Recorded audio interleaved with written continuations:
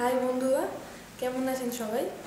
আমি আজকে একটা নতুন টপিক নিয়ে এসেছি, যেটা আশা করি সবার ভালো লাগবে। কারণ আজকালকার দিনে হাঁটুর ব্যথা। হাঁটুর ব্যথা কম বেশি সবারই আছে, বলতে গেলে বিশেষ করে যাদের বয়স হয়ে যায়। বয়স্ক হলেই হাঁটুর ব্যথাটা একটা কমন রোগ। তো আজকে আমি সেটা নিয়েই আলোচনা করব। কিছু টিপস দেবো আপনাদেরকে, যে কীভাবে হাঁটুর ব্যথা কমানো যায়। প্রথমত আপনারা আইস প্যাক ইউজ করতে পারেন।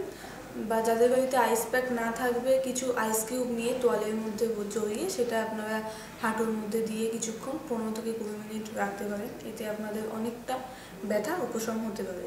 কিন্তু মনে রাখবেন, কুড়ি পঁচিশ মিনিটের বেশি কিন্তু আইস কিউব বা আইস প্যাক লাগাবেন না। তাহলে আপনার স্কিনের ক্ষতি হতে পারে। এছাড়াও কি? মাসাজ থেরাপি আছে।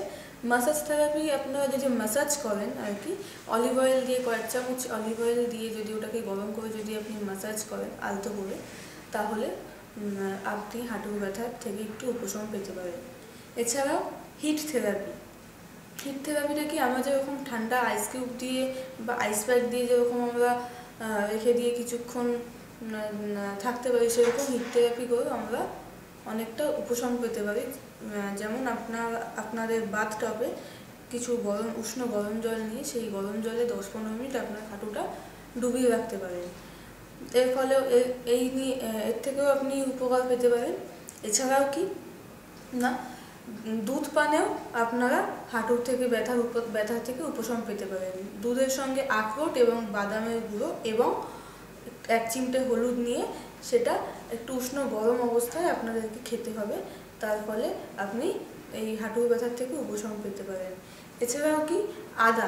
আদা দিয়ে তৈরি যে চা, সিম্পল আমরা সবাই খাই, আদা দিয়ে তৈরি চা আপনারা খাবেন এবং এর থেকে অনেকটা উপশম পেতে পারেন।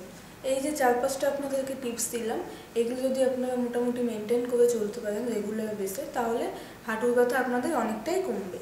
তো আমার ভিডিও যদি আপনাদের ভালো লেগে থাকে, তো আমার ভিডিও লাইক এবং শেয়ার করবেন এবং আমাদের চ্যানেলটাও সাবস্ক্রাইব করবেন।